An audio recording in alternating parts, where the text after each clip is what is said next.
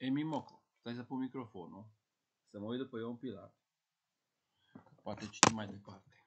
Cu Florica, cu treaba, cu chestii. Deci avem din 18, 1918 până în 23. Cam așa ceva. O carte, nu mai știu cum zice.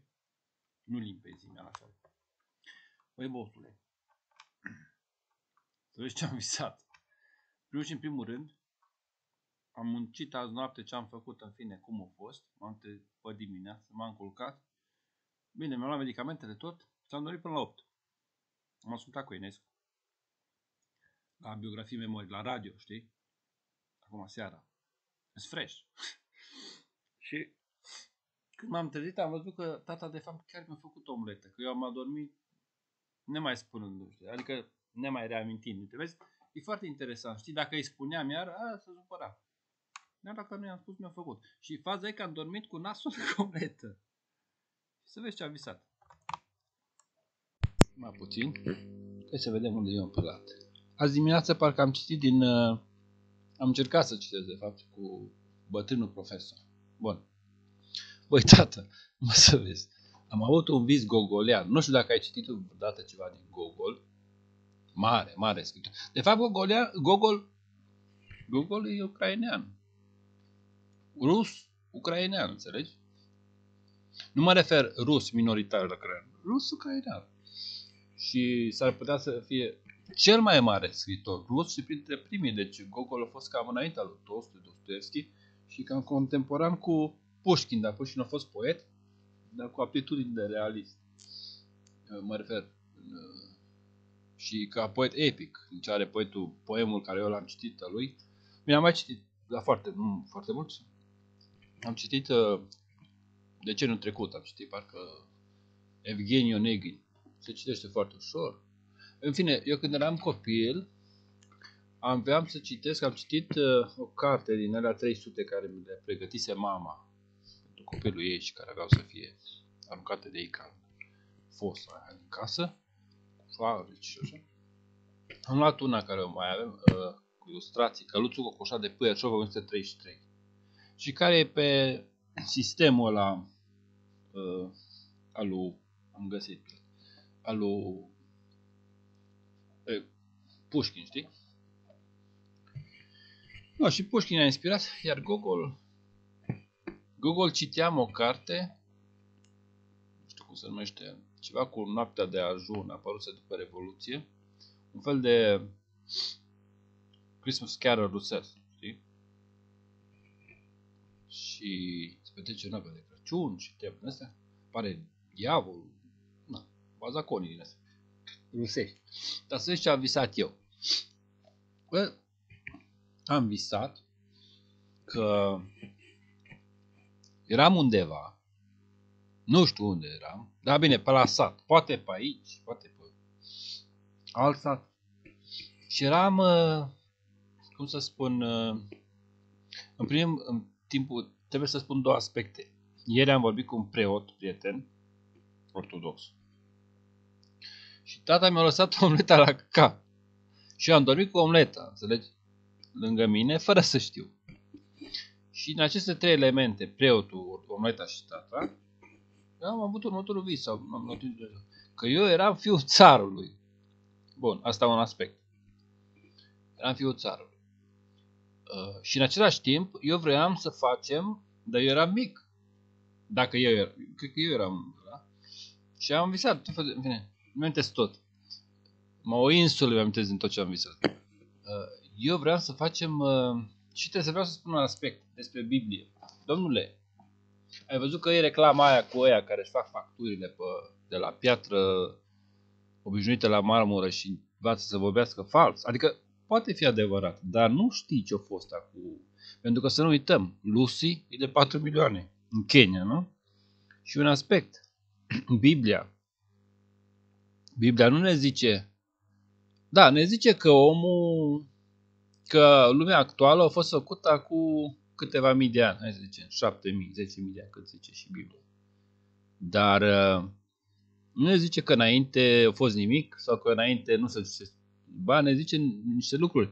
Ne zice, de exemplu, că la potop a dispărut o întreagă civilizație. Nu? Apoi Uru. când au descoperit orașul Ur, care înainte se spunea în secolul XIX și mai că nu există așa ceva, lor descoperit, erau case mai mari ca astea, erau case cum e jos și sus, cu, erau vile. Avram stătea la vilă. Înțelegi? Aveau cărți, aveau tot ce le trebuia. Scriere. Pe ca să faci o casă, pe să fii lemnar, să fii dulgher. Zice Teofil Păreanu, nu? Și asta e un aspect. Ă, nu cumva noi să fi fost urmașii primitivizați. Deci Dumnezeu nu ne-a făcut primitiv și să nu putem vorbi două vorbe. Și poate că nici nu avem nicio legătură cu mai multele, cum cădem toți până la urmă. Până nu vin și ne bat în cap cu teoriile lor. Și să fi fost niște dezastre. Ce dezastre? Acum nu. Atomic sau neatomic, asta știu ceva, până nu descoperă ceva și mai rău. Dar noi știm că la Sodoma o căzut, uh, ca să zic așa, au căzut muntele, nu? Deci s-a făcut lacul sărat și s-a făcut dita mai riftul până în Africa, la lacurile alea. Sadanapalice. Nu. Spune și tu. Ce a însemnat acolo? Ce a însemnat dacă probabil că a fost o, lovizu, o, o pământul a fost lovit de o cometă. Înțelegi? Sau de un asteroid mai mare. Și atunci îți dai seama că tot pământul s-a cutremurat. Eu mi-amintesc acum câteva luni că eram singur acasă, parcă, sau în fine, în camera acolo, și când a fost cu tremurul ăla, știi? Și am citit cu tremurul din Turcia. am citit că mă scutur cu patul și pe am văzut, nu m-am mai scuturat cu patul, s-a scuturat uh, mobila. Așa, așa făcea. Înțelegi?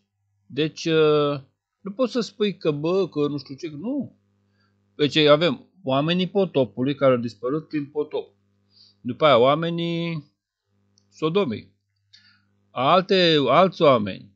Deci poate și au fi fost care ar fi descoperit știința și care ori fi zis, bă, boșor, numai știința există, nu ne interesează de voi, nu ne interesează de voi, și-au bătut cap în cap și după aia au apărut ăia lui Gerula și al lui Tupac, California knows how to, how's about it. Înțelegi? No, dar să zic de visul meu. Bă, și eu ziceam, gata, hai să facem mănăstire, să facem nu știu ce, ortodox, știi? Uh, și uh, bă, și ea, în fine, și eu le ziceam, hai să o facem de lemn. Că luăm lemn, îl punem așa, uh, facem o cameră, o cameră, ca să faci o cameră de lemn costă 35 de milioane. Toată. Uh, să facă lemnarul. După aia mai facem una și așa a făcut mănăstirea. Și, nu știu, am și adormit gândindu-mă, știi, la un fel de arhitectură, cum să zic, dacă avem patru camere, în interior să fie două așa, pe unde să se intre la celălalt. Știi cum zic? Și, adică dacă desenăm, dacă am cu ce, să văd, ar fi ceva de genul, ca să am un suport. Uite aici pe Novalis. Uite, ar fi așa.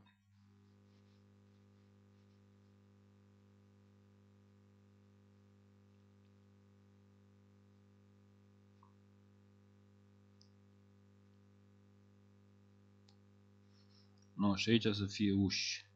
Ca la lucru manual, știi, la clasele. Deci un hol. Vezi? No, și eu eram mic. Înțelegi, eu eram mic. Și, nu, no, ăia lucrau, nu, în fine, ce făceau? Și poate trebuie să ne ducem nu știu unde, la Moscova sau nu știu unde să ne ducem. Că tu știi că noi suntem ceva ruși. Partea regatului, știi? Și eu eram în mașină, aia veneau pe lângă și îmi spuneau luminăție. Știi, ca în, uh, cum îi spune lui tata lui Tolstoi, știi, în copilăria lui Tolstoi, spunea luminăție. Dar eu eram mic acolo și tot, nu, pe drum. Știi? A fost un vis foarte fain. Și în vis mă gândeam la cost, uite, la costuri. Păi aia ziceam, stai puțin, că se poate face și așa. Pui pui două, pui un șir de bârne, zid, pe aia pui uh, nisip, piatră, nu știu ce, știu, ca la zidul Dacus, nu? Și pe mai pui o de la de bârne. Dar după aia m-am gândit, stai puțin, că ăștia știu ce fac. Dacă ei nu au făcut așa până acum, înseamnă că știu de ce ajunge un zid de bârne. Că ideea, știi cum e? Tata, el a făcut chestia asta, s-a gândit. Uh, și-a găsit care să. Deci el are acolo camera și până la toamnă să ducă no, chimicalele care au fost acolo, toate ce să facă la zi, ignifugare și asta, și își pune un calorifer. Își pune un calorifer pe ulei, priză, știi, ca tipul ăla din Gentleman în New York. Pune acolo și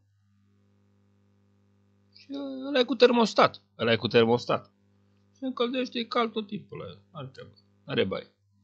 Aici, de exemplu, se încălzește, da. Se încălzește, dar când se răcește și și acum e frig, că zidurile de știi cum să zic, de beton.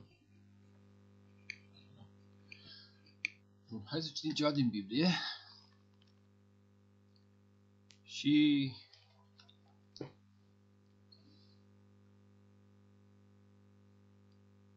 și voi, oile mele, așa vorbește Domnul Dumnezeu. Iată voi judeca între oaie și oaie, între berbeci și țapi. Hai de cap. Nu bun. Hai să vedem dacă avem ceva, dacă vedem să lecturăm că ai lumină, frate. Nu știu ce să fac. Și nu pot să-mi aduc cuvioza. N-am să o bag. Deci unde a rămas?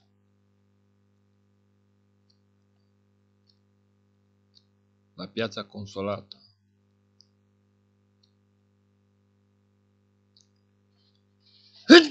De capul Nu, asta vreau să spun. Frate, da, ce zice Biblia? Că noi ne-am recivilizat, am învățat să citim, să... De la Adam. El a fost primul om. Înainte... Și ce zice Biblia? Că, da, dacă lăsăm astea, și Biblia, și ăsta a fost creștin, Uh, o să ajungem uh, patraule. Și nu o să fim noi patraule. Maimuța e că e maimuță, înțelegi? Dar noi o să zicem, nu, noi să fim noi mai maimuțe decât maimuțele. Să râdă și maimuțele de noi, pentru că noi o să zicem, nu, ce Dumnezeu, ce omenire, ce omenie, ce nu știu ce. Înțelegi? Uite, am ajuns la pe, cartea pe Argeș în sus. 1918-1923. Deci asta au finalizat-o acum 100 de ani, acum suntem în 2023 și... Da. Florica. Primul ciclu se numește Florica. Din pe Argeș în sus. Moșia iubită. Deși și miorcani. Adică, la fel. Dar oricum, poate și cuvinte. Cititorii.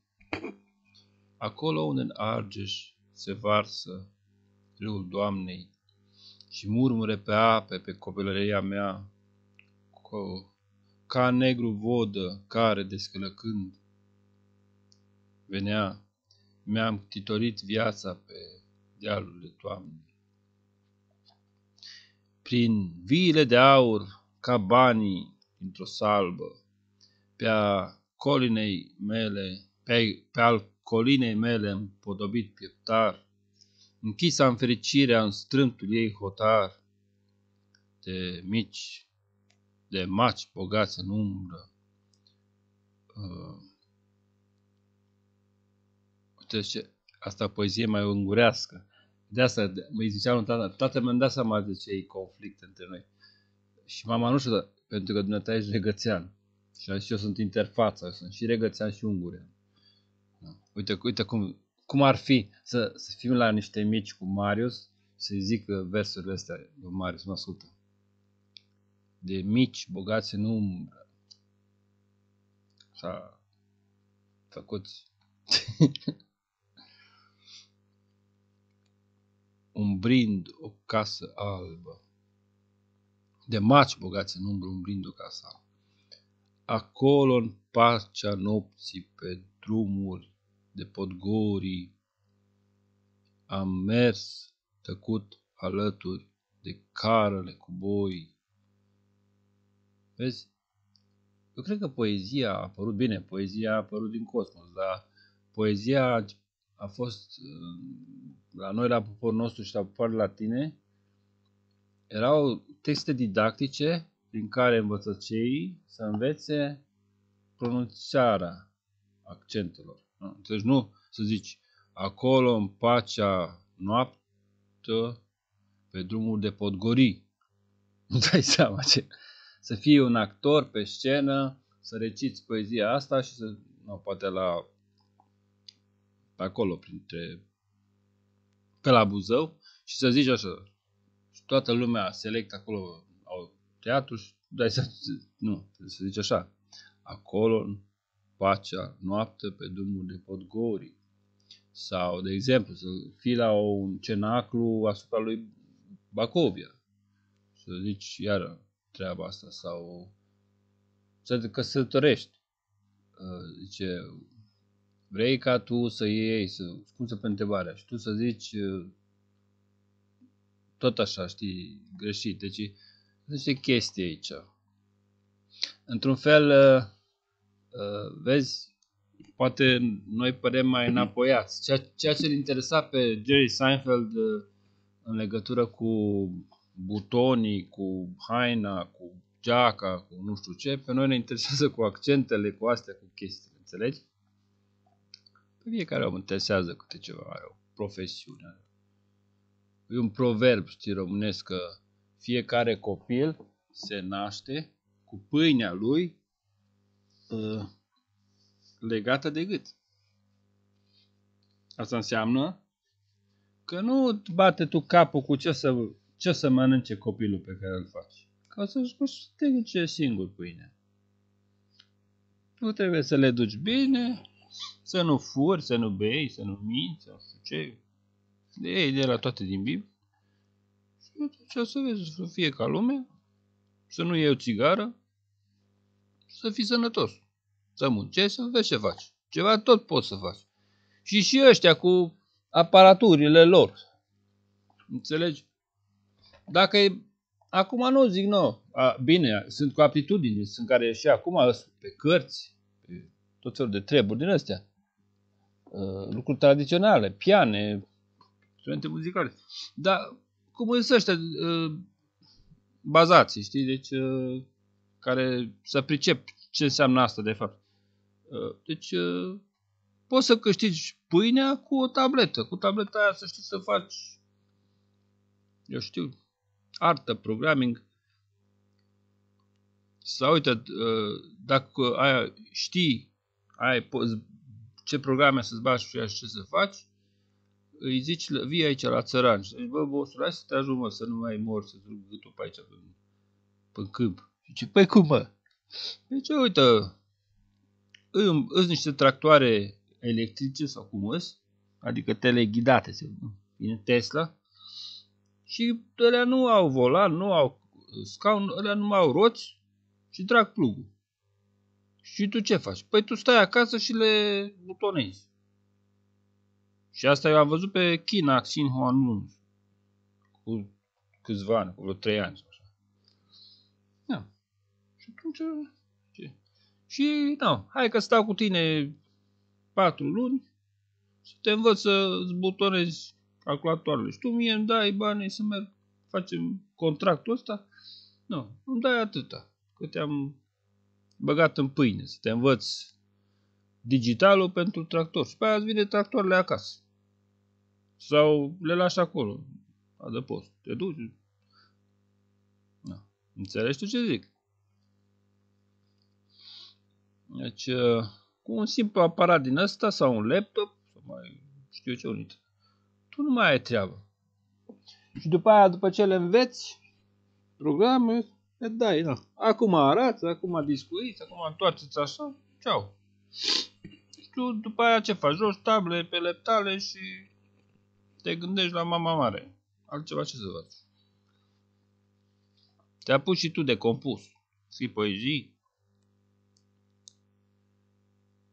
Dar pe bune, că asta e adevărat, să nu credeți că e vis, cum ce-am visat înainte. Asta am văzut asemenea calculatoare și un ITist o pune în pâine. Bine, dar probabil că trebuie să ai ceva bani. Dar nervi mai aveți să mergeți cu să vă hâți o viață întreagă tractoarele alea. Alea schinezești tractoarele. Am căutat tractoare, știi? Că erau John Deere, alea, vin din America. Pare că pune pe tren, numai trenuri de John Deere. Și am văzut că au o, olandezii niște tractoare albastre faine. După aia, nu, am văzut pe da, de știri că urmăresc pe China Sinhuan News. Urmăresc, de ce urmăresc? Din scopuri uh, religioase. Creștin, uh, creștino-ortodoxo, uh, ostașo, baptisto, catolicus, uh, uh evreicus, uh, uh, islamicus, uh, pocăit. No, am, deci am, am acolo în pacea nopții, pe drumul de podgorii,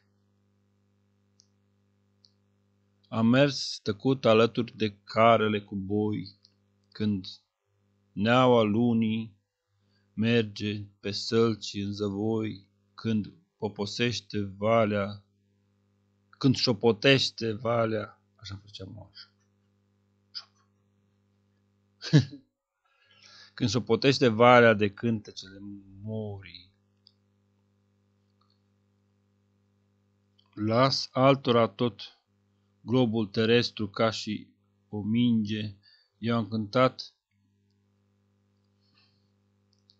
în paza pridvorului străbun, ca să culeg cu ochii livezile de prun, când alb, ca, când alb negoiul toamna de cercuri se atrage sau se atinge.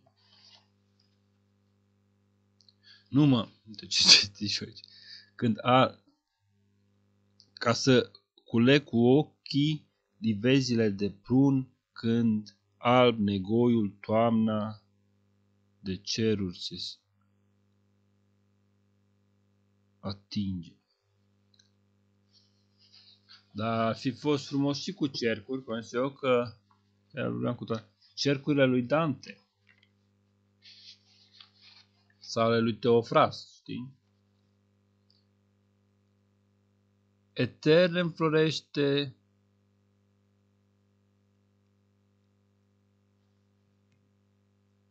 ceva în piept mă doare, privind cum prinde raza cu fermecătorul fier, o fașă de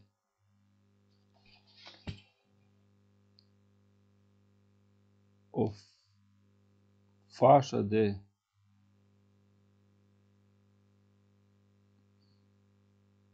verb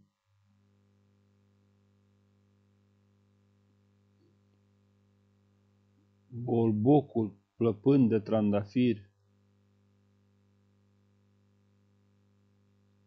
și un zâmbet de lumină în fiecare floare. Parcă îmi văd din nou cum am un zâmbet ea ce odată trăia pe buza ei și mă înfior la gândul poganii și la credința că trebuie naturii să-i altoiești ființa. Deci, și mă înfior la gândul păgân și la credința că trebuie naturii să-i altoiești ființa, pământul să palpite ca inima de vrei.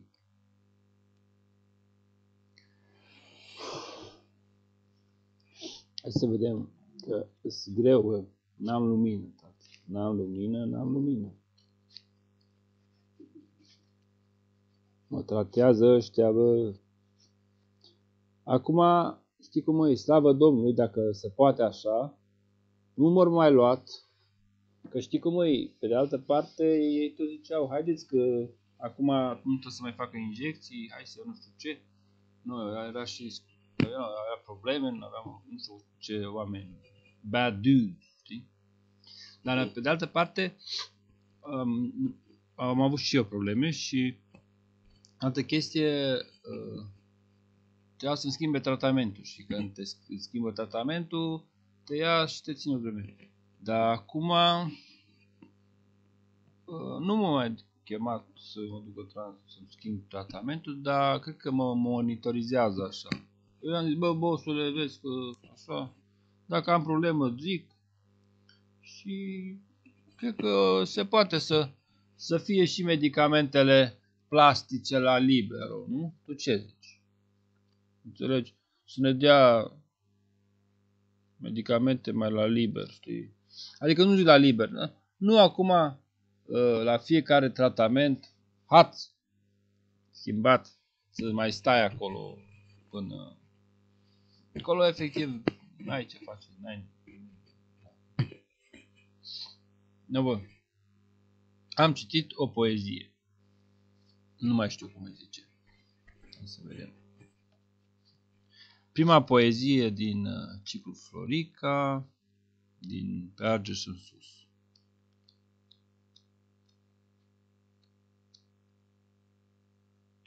Cititori. Bun. Eu zic să ne oprim, bă, că deja, uite, 26 de... No, deci asta vreau să zic că dezastru atomic, da, poate fi. Și suntem, nu, noi suntem niște cu care nu ne putem înțelege. Și este un aspect aici. De ce japonezii, japonezii, care ei s-au deschis, s-au închis, nu, cum a fost? Cu olandezii, olandezii le dau Biblii, apoi au venit portughezii, portughezii îi puneau să se roage, să zică Ave Maria, să zică pe, mă, pe Bob, știi? Nu, și ar fi crezut. Dar după aia când au dat două bombe, să știi că dacă nu capitula după a doua bombă, le mai dădea una. Și după aia, așa, asta a fost tehnica, ca la șah. Agățeau toți spionii de pe coastă. Și atunci uh, ăștia care se văd ei cei mai mari păgâni sau nu, șintoiști, zic, pe cum mă, cei mai mari creștini din lume, a cu Isus și Sfinte glume să vină pe noi cu bumbe, bă? Și cu bumbe și și cu bumbe să ne arunce din columbe, bă, nu se poate, băi, frate, nu să ne pace, băi. Nu, ce, ăștia are Dumnezeu? Zice japonezul greu. Și tot ceilalți stau și gândeu.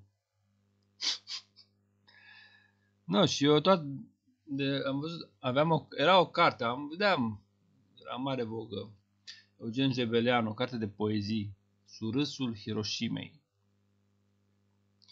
Și asta vreau să spun că a fost ceva îngrozitor. Și azi japonezii nu, nu cred. Ei sunt imposibilitatea de crez a crede într-un Dumnezeu, la care, un lucru la care a contribuit și budismul.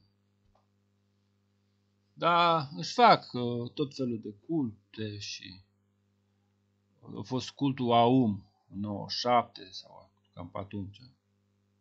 Când, când uh, a intrat și Hong Kong înapoi în uh,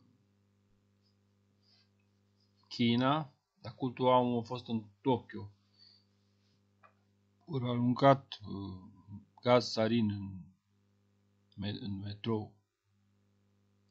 Și am citit într-o carte despre din aia și uh, cea că tipul stătea într-o fosă așa și medita până a fost arestat sau dus undeva sau în fine. Și un alt aspect e că sunt care, da, da, noi suntem creștini, noi suntem creștini. Și pe aia iau Biblia și o traduc în ultimul hal. Că de-aia zice băiatul la vietnamez franciscan, știi? La vietnamez. Zice Psalm 49.4 și zice un uh, coleg, ce? Asta nici nu care face niciun sens. Zice, my translation. With the piano, I'll solve my problem. Păi se pare că-ți citi, mai. Tri,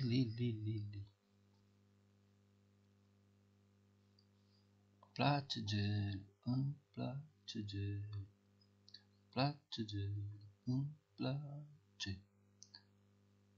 Du, du, du, du, du, du, du. Du, du, du, du, du. Du, du, du, du. Oh.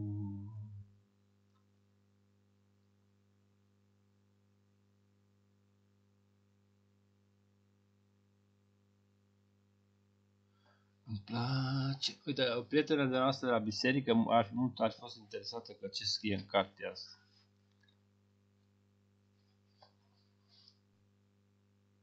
Arta de a citi, de Emil Faghe. Cititul cu oarecare restricții reprezintă unul dintre cele mai cunoscute mijloace de fericire. Îndreaptă-te către el pentru că te va conduce spre înțelepciune și conduce spre înțelepciune pentru că vine de, la, de acolo. E patria fericire unde, în mod firesc, îi place să-și conducă prietenii.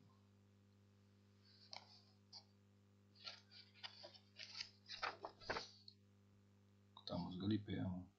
Cât a apărut.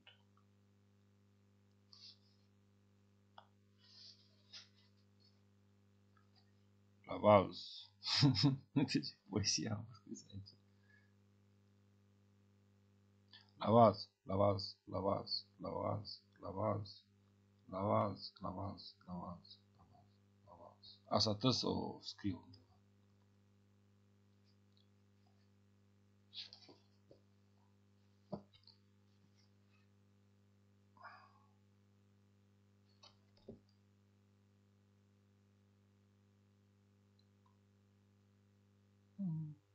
undeva. șaptezeci și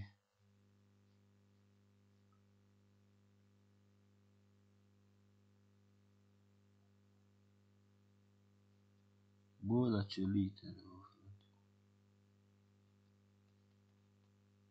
Bun. Asta este, nu să știu. Ba, uite. Nu, Paris, 1923. Și asta de 100 de ani. Hai să știm cu prințul. Tata spunea totdeauna când e o carte, la librărie, la bibliotecă sau ce, uite la cu prinț. Deci așa, citiți încet. Cărțile de idei. Cărțile care se adresează sentimentelor. Piesele de teatru. Poeții. Vezi? Teatrul este o artă dinamică,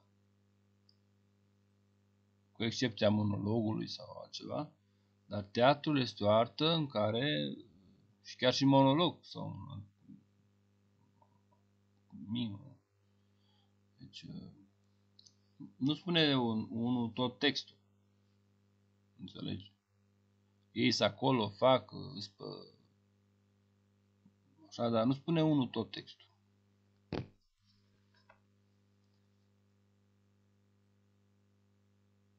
Chiar și cum e în benzile lui Crap, Samuel Beckett. Îți recomand să citești Samuel Beckett, mai ales teatrul lui, pentru că te va edifica. Lua premiul Nobel pe parcă 69, 68, 70. Pe 69 a luat uh, ăla, cum cheamă frate, care a scris uh, niște cărți. Stol de păsări albe, Sembazuru, Vuietul muntelui. Nu am citit. Și o carte mai ciudată, cum îi zice, Frumusețe și întristare, dar eu am citit Țara zăpezilor, capodopera lui. Kurosa, numai, Kurosawa era Kurosawa. Ăla era regizorul Kurosawa, mă. Țara zăpezilor de... de că l-am, i-am uitat numele, mă, dacă să crezi. Și numele lui Radu Anton Roma nu l-am uitat. Harakira Kurosawa, dar nu are cum să fie numele ăsta. Că Akira Kurosawa era numele regizorului. Marelui regizor japonez. Cei șapte magnifici, Ran, Kagemusha. De exemplu, Kagemusha îi că un om simplu seamănă exact cu împăratul. Și atunci ăștia au luat, hai, tu să fii, ca să fie ocrotit împăratul. Și el se ducea și când vedea, oh, împăratul nostru, împăratul nostru. După aia, împăratul a murit. Nu. Când o să se mai liniștească lucrurile, împăratul nostru, nu știu ce, aia a zis, bă, du-te de aici de la noi, că împăratul murit, pe cine mai vrei să mai impersonezi? Și atunci a rămas așa cum... Ca în La Vita e Sueño, Cardelon de la Barca.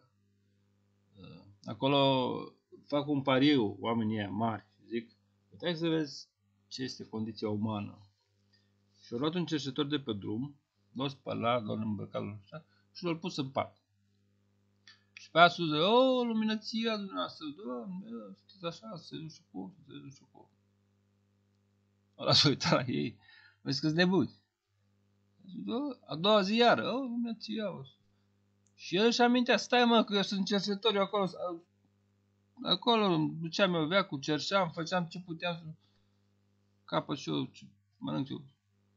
Și iară dimineața, în fiecare dimineață, și aduceam mâncăruri,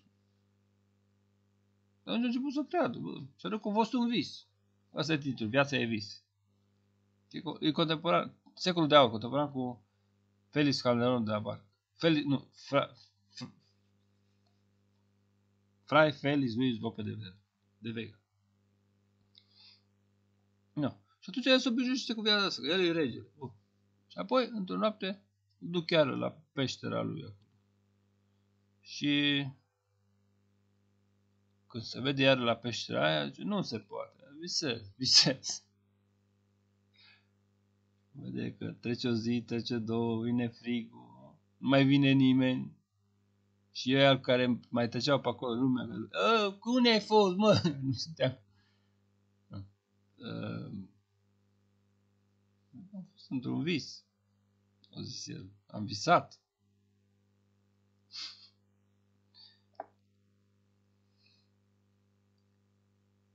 apoi uh, deci piesa de teatru, apoi poeții, capitol 5.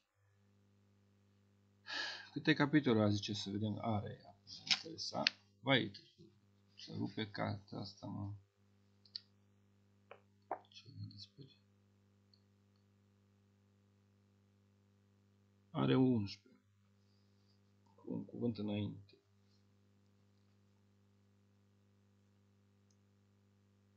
Scriitorii ermetici, autorii mediocri,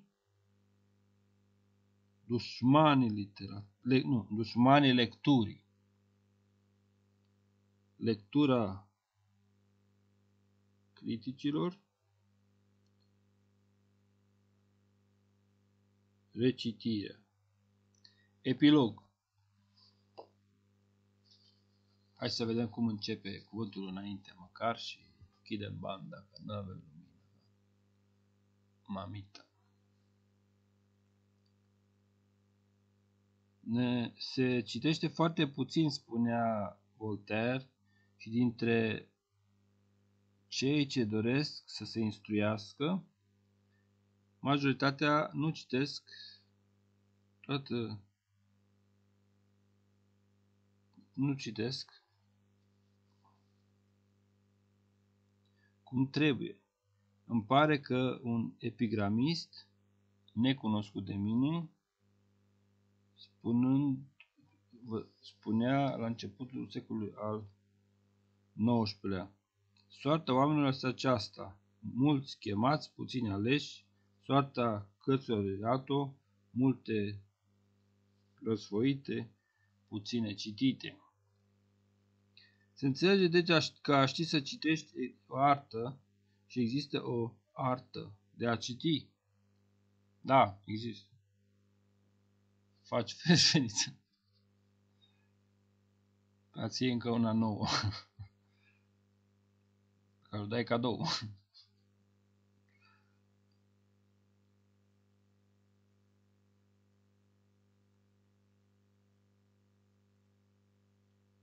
Să zic în situațiile fericite de viață.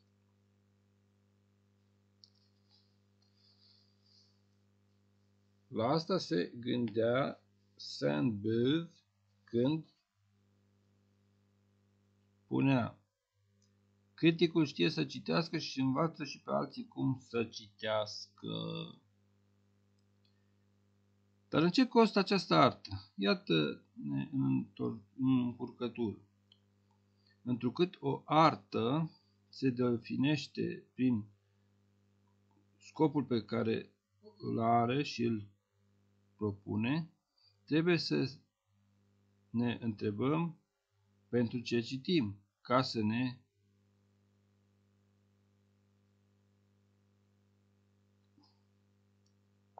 instruim ca să judecăm valoarea operelor pentru plăcerea noastră?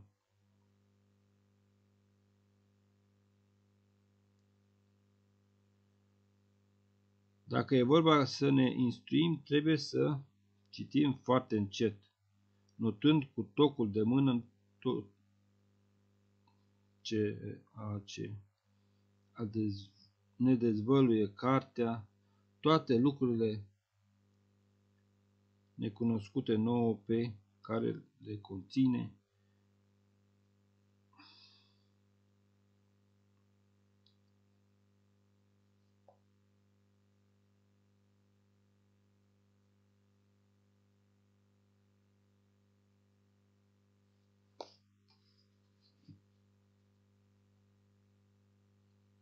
După care să recitim pe îndelete tot ce am scris.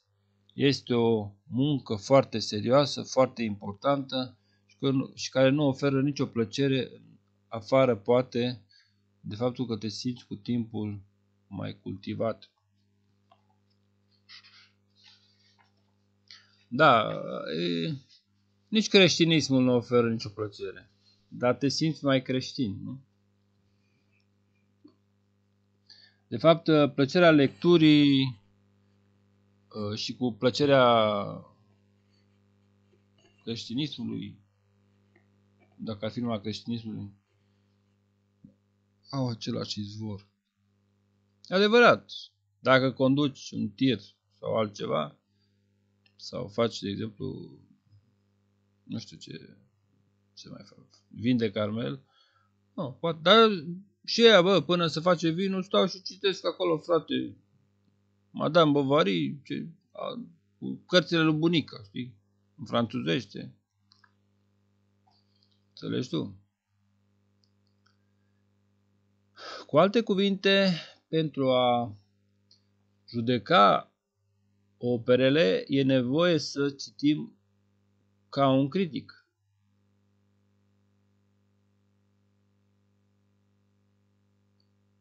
Acea e semn de întrebare cred. Oricum, text cursiv. Oricum, nu trebuie să parcurgem textul foarte, foarte încet.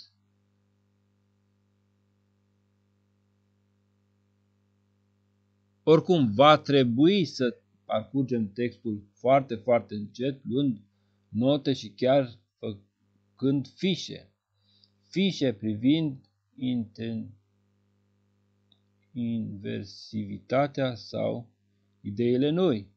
Dai seama, ăștia zic, și am vorbit și de fratele Belea, că eu zis, bă, am citit-o Biblia de ori, șapte ori în șapte ani și acum ai pe memorie.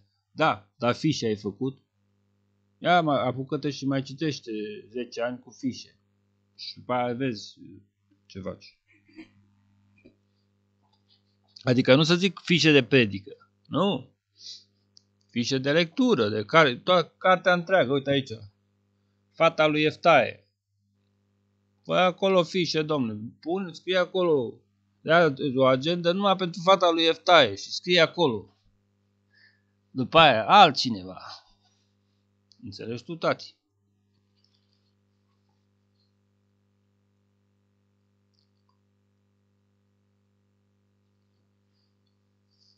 Ăla, domnule, dacă nu, mi se permite că mereu a fost prieten cu mine, fratele Sergiu Dobri, bă, citește fratele Sergiu, bă. Uite, chiar aici, cartea asta am cumpărat-o de la anticaria de la Deva și îi poartă a lui. Îi, uite, se, zice așa, numele lui și librăria personală. Sau poate că o fi, cum să zic, și o carte foarte valoroasă asta de poezie, teologie. Uh, o fi altul, mai știi? Dar el citește și în engleză și... Mi-a dat cărți, am citit și pe aia le-am mai dat și eu. Pe la alții să aibă și cărți de credință și este. Era o idee foarte faină la o carte, am dat la o fată, că nu, dea numele ca și bunica mea.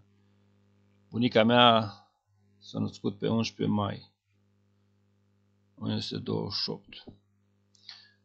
Cartea se numește Mountain Trailways for Youth și are, îi zice pe ideea, uite, vezi, uh, un bătrân care urmez pe drumurile astea pe care vă merge voi în viitor, o întâmpinat toate aceste dificultăți. Și aici au făcut, unde a fost un ridge sau ceva, a făcut un pod, unde a fost nu știu ce, a făcut nu știu cum, unde a fost ce.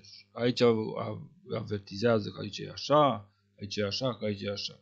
Și atunci și te dă, era o cărțulie, așa, știi, ca asta. Și am dat-o la fata asta și am explicat noțiunea.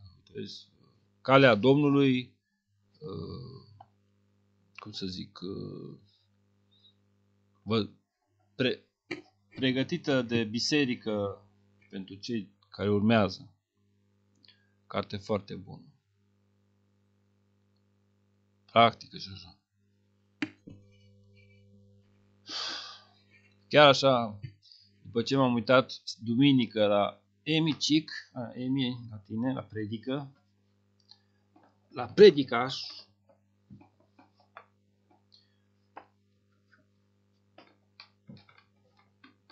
Uh, și ieri la Ștefan am ajuns la concluzia că, bă, frate, pastorul, lucru mare, mă. Acum, bineînțeles, nu. Tu știi că eu sunt trizofrenic, nu? Că sunt ortodox, baptist și grecu. Tu știi asta, nu? Deci să vorbești cu un pastor bun e ceva esențial, capital, nu se poate.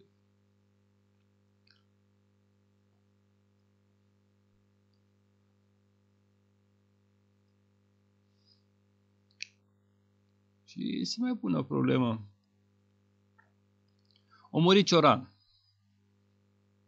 Știi? Marele filozof. Și el stătea cu o pariziancă sau nu. O tipă din Paris, de unde fi venit, nu se știa. Cum o chema? Nu. Nicolet, Nancy, nu știu. Habar n-am. Și Cioran prin 95 sau poate cel târziu 96 a murit. Și a fata asta a lui, că noi erau uh, prinții lui Hantătar, că ei nici nu munceau, nici nu se rugau, nici nu făceau uh, mentorat, parenting sau mai știu ce. Cu, uite, ăsta și ce să chinuit? Păi bă, gândește-te și tu, bă, tată, ce să chinuit atâta și în închisoare și toată viața și înainte de războiul mondial. Uh, Noica. Păi Noica s-a băgat la legionar ca să educe, nu ca să fie el marele legionar. Nu. Înțelegi? Și probabil și Giro. Intra la legionar ca să scrie poezie românească. Asta cu codru și cu pamacă. Dar aveau să zic ceva. Uh, uh, dar bulul ăsta nu vrea să facă absolut nimic. No, și eu am încercat, hai să mai dăm un premiu, să mai... O primit premiul rivalor ca să nu le refuze și pe nu mai niciun premiu. Și zis că era mai bine dacă îi dădeau banii și atât. Nu. Și el ar fi putut să vedea filozofia la Maher din ăștia, știi? Linda Maria Baros, nu? Dacă ar fi fost generație. Sau nu, dacă ar fi luat-o pe fată când era mică, dar nu, el era deja în ultimul lui deceniu. Nu, nu fi fost o lovitură prea Dar, oricum, gândește-te și tu, să stai un trimestru acolo și să înveți uh, ce să înveți. Păi, hai să spun despre Ion Petrovici și despre Lucian Blaga. Ce era greu? Ce murea Cioran să facă? Și după aia îți dai seama că statul român îl plătea. Putea să facă din 8-7, că Linda Maria Barroso o debutat în 8-7. Nu.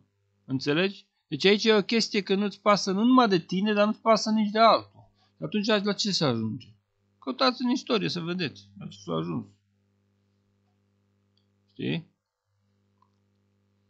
Adică acum nu zic să fii din ăla, bă, cu 10 fi la poartă, dar nu mă, dar gândește-te și tu puțin, mă. Să uite, puteai să faci să faci simultanul din ăla cu pedicaj din ăștia. Să-l ia pe Cicu, pe Ciste, pe Ștefan, pe fratele Adi Condrea, ia patru din ăștia, sau pe ea mari, pe de Dudulescu și pe Mihai Sârbu și pe... Nu.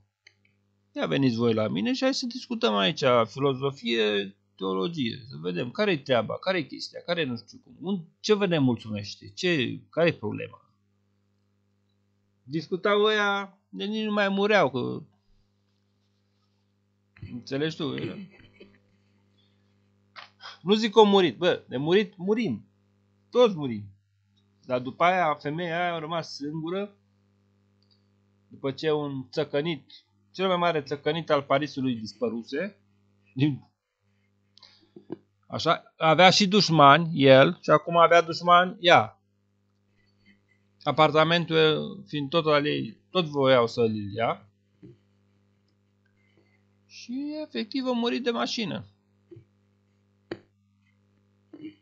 Ia cu o femeie tânără, presupun că era mai tânără ca aici. Știi cum e? Nu poți să spui că Cioran a fost că a murit bătrân. Filozofii nu mor bătrâni. Dar asta nu înseamnă ceva vulgar, nici pe departe. Asta înseamnă zigurate de cărți. În cap și în viață și în pat și sub pat. Și... Atât. Mai trist ideea ca Roxana, care nu dansează decât o vară. Știi? Cât noi.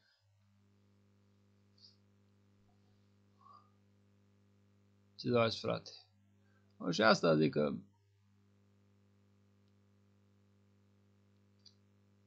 Dar, pe de altă parte, Cioran putem spune că filozofia lui, el a făcut o filozofie accesibilă și tineretul le citește ca pe scripturi. Chiar dacă nu pe cele mai bune neapărat. Dar le citește. În perioada liceului, când sunt bully, fete, citesc, mai de o fată. Și tot ziceam Silvia, așa o chema, Silvia. Era prietenă cu rocărițele la mine din clasă. Și ea nu știa de ce zic eu așa. Strigam, Silvia, Silvia, este și Silvia aici de față. Și asta sunt niște chestii din două surse. Deci, de la ăla care avea multe prietene. Se duce în răstrău, e o înregistrare pe anul 70 sau 80. Haz de necaz, Mircea Crișar. Se duce în răstrău și zice, a, ce bine că ai, frum- că ai venit, prea frumoasa mea Mira, nu, nu mă numesc Mirandolina, a, desigur, uh, co, coca, nu mă numesc co, cocașatul l-ai văzut, mai chestii astea. Nu. Și, oh, Silvia, nu mă numesc Silvia, Zice, oricum, chiar dacă nu știu cum te numești, îți mulțumesc că ai venit la întâlnire cu mine. Și zice un tip, uh, șefule, domnișoara a venit la întâlnire cu mine, nu cu dumneata. A, da? Bine. A, tu erai Vasile Dorge Mihai acasă. da, asta e una. Și tata zicea că, nu știu, în Carmen sau nu știu unde, în, într-o operă, ziceau acolo spaniolii, este și Silvia aici de față. Și atunci o strigam pe nume, dar ea probabil că știa și ea. N-avea cum să nu știe, dacă o chema Silvia, la fată cultă. Era de la altă clasă. Nu știu, cred că de la Real sau de la Filologie. Fată ca lumea. Da, aveam impresia cumva că o tot deranjez cu chestiile alea. Ca... De asta ziceau că sunt țăran, știi? A fost un țăran aici care cosea, care făcea două clări, fiecare ia, va, ia toamnă și una o punea, îi punea și aripi de lemn, știi, ca la celți, la coif. Coiful lui și al nevestei. Și ăla, când era pe câmp acolo, dacă stai de timp acolo și nu-i casetofonul, nu-i boombox, nu-i țigare, nu și chiuia până în cer, mă.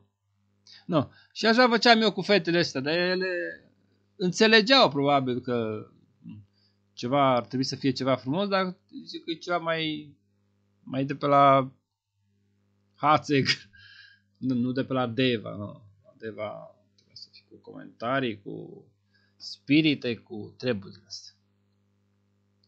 Acum, uh, bă, eu vorbă și Mircea Zaciu a zis-o, care el a scris jurnalul. Bă, domnul Sava, despre morți, numai de bine. Deci, uh, chestia e că... Ce vreau să zic asta? Deci, uh, mă refeream la Cioran și la Acum, știi cum e, dacă, cum zice un prieten de-a meu, gravitatea faptului împlinit. Dacă lucrul s-a împlinit, nu, nu mai ai ce să faci. Rugăciuni, nu? Te pui la rugăciuni, te înscrii pe lista de rugăciuni și în rest ce să faci? Ai altceva ce să faci? Altceva nu.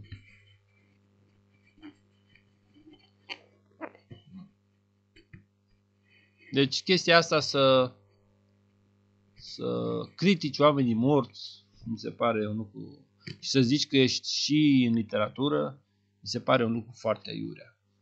Nu, nu poți să faci așa ceva.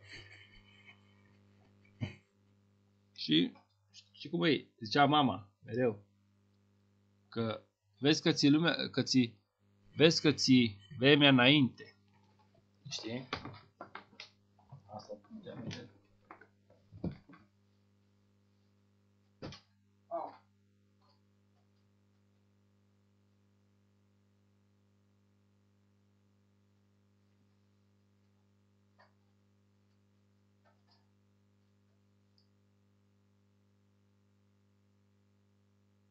Uite-mi.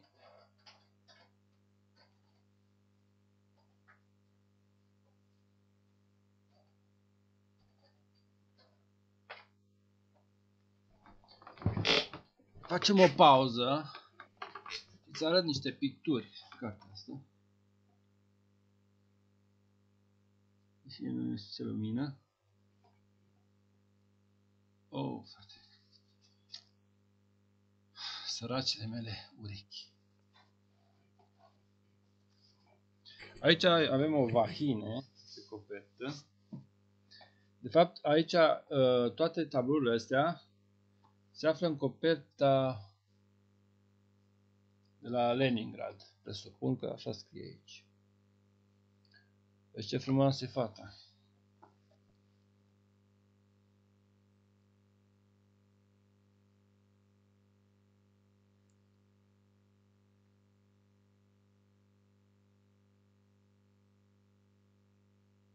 Înțeleg că tu ai anumite aplicări către naturalism. Eu nu am. N-am prețuit nimic mai mult decât naturalismul. Nici uh, Gauguin. Fost el păcătos, nu știu, dar nu a fost un om naturalist. El a avut pe fata lui, fetița lui. Înțelegi? La, la Paris. La București. Și i-a făcut portret frumos, tot. Și zicea, cu ea se putea înțelege. Da? Am văzut un film. Da? Uh, și am văzut portretul și asta. Cu ea se putea înțelege. Deci că, uite, vezi, a fost în Martinica și ca să lucrez arta acolo, nu, Martinica, așa cum mai departamentul de lotul meu. Și nu a mers nimic, și atunci trebuia să vină înapoi, măcar până la Paris, cu vapurul. Și cu ce bani? Și nu știu cât timp, o săpat șanțuri, omul ăsta, o săpat șanțuri în Martinica, că se puneau nu știu ce instalații și din astea. Tu știi unde e Martinica, așa -i? În America Centrală. Ca să vină la Paris, la familie. Aia, și s-a venit și a văzut fata, o fetiță de sub 14 ani. Frumoasă, drăguță. Și zice, de fata mea, da, tată, ce faci acum? Ce? Ea cumva îl înțelegea, știi că el e artist, pentru că ăla nu de nebun să stătea pe acolo pe vremea, pe, pe coclaure, să... Știi? El căuta nu naturalism, nu ceea ce numim noi naturalism, adică de fapt și care de fapt e păcat. Înțelegi? Ce? Păi, ce mare... Ce? Suntem în Tahiti aici pe Contiki? Nu e chiar așa, da. E serios. El căuta... Uite, ce avem noi aici de, de mii de ani, mă, și de pe metopele. Asta vezi, icoana aia parcă e metopă de pe columna lui Traian, mă, și de la Adam Clisi. Și pe unul mai fi fost.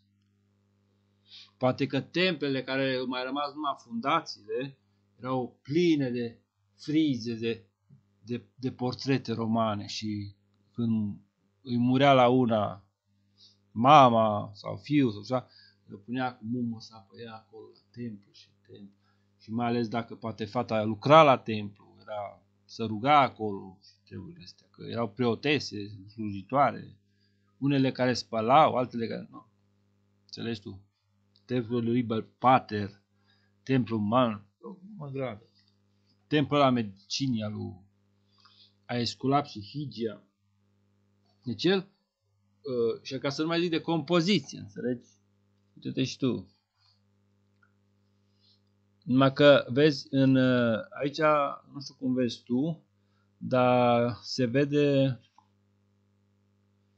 în revers. Asta e mâna dreaptă, de fapt. Vezi? Asta e stânga cu tatuaj, asta e dreapta fără tatuaj. Stânga cu tatuaj, dreapta fără tatuaj. Înțelegi? Bun. Deci compoziția lui e așa. Spre stânga, dar tu o vezi, probabil, la dreapta, dar el nu va făcut așa. Deci femeia este puțin înainte de miracolul Gauguin adică un dita mai francez, să meargă în Tahiti și să le pună pe seamă pe domnișoarele ăsta și să înțelegi ce zic. No, și fata a înțeles. E greu, da, tată, să fie dor de tine și așa. Dar ce să fac? Tu ești un artist. Și el vrea să, să prezinte lumii cumva uh, ceea ce au prezentat, uh, ceea ce au crezut că au găsit ăștia când au dat de tropici, ăștia, cu ator pe acolo, un paradis. Știi? Un paradis. Uite aici are un desen cu un copil în curul gol. Care aici se vede iară, cum să spun, preocuparea lui pentru naiv, pentru inocență, pentru... Deci pe el îl atrage asemenea lume, aici e o amurg sau ceva, dimineață. Pe el îl atrage asemenea lume, de ce? Pentru că este o lume fragilă, este o lume, cum să spun, uite aici este ceva, și obișnuia să scrie uh, pe tablouri. Asta e o litografie totuși. Deci, uh, știi cum e cântecul ăla la copii? Un elefant se legăna pe o pânză de păianjen și pentru că nu se rupea, a mai chemat un elefant. Hai să vedem până, de când a trăit până când. Așa.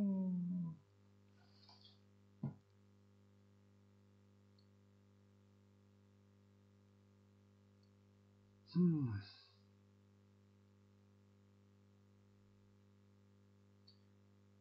8 mai 1900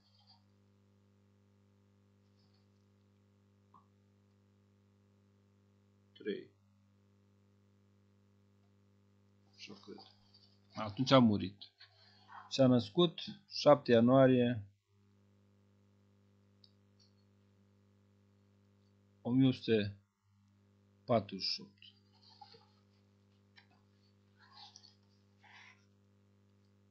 1948. Bun.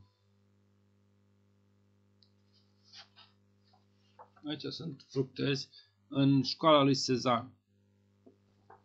Deși Sezan nu a avut școală.